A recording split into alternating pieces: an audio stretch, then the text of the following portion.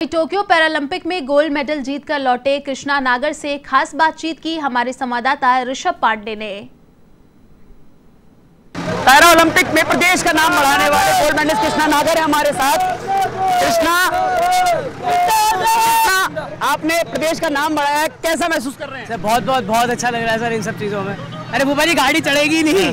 कृष्णा कृष्णा किस तरह से देख रहे हैं? गोल्ड मेडल जीत कर लौटे हैं पूरे परिवार के साथ गाड़ी पे रहे हैं। मेडल। मैडम सर के पास है मेरे पास कृष्णा कैसा महसूस कर रहे हैं? सर बहुत बहुत बहुत अच्छा लग रहा है सर। प्रदेश के युवाओं को क्या सलाह देना चाहेंगे? क्या? प्रदेश के युवाओं को क्या सलाह देना चाहेंगे? सबको ये देना कहना चाहूँगा कि मेहनत करते रहे आगे बढ़ेंगे ज़रूर आप भी सक्सेस ज़रूर पाएँगे मेहनत करते रहिए।